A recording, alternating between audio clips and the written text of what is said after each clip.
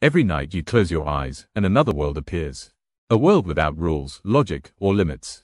You can fly, fall, love, die, all in a heartbeat. It feels real while it's happening. But when you wake up, it disappears, like smoke. So, why do we dream at all? Let's learn in this video. Scientists say dreams are a process of your brain cleaning up memories. A process of sorting thoughts, deleting noise, keeping meaning. So, it's your mind's version of hitting refresh.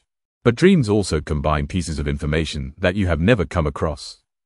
All that information on faces, fears, places, gets stitched into stories. So, it is actually the imagination working while the reality sleeps.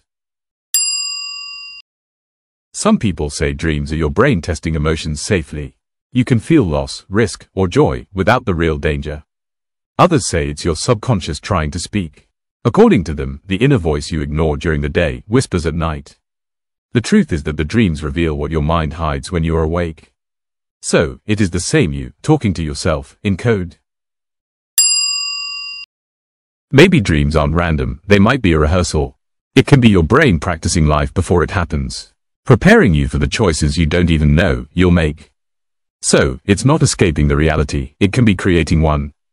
Because every world we build in dreams begins deep inside.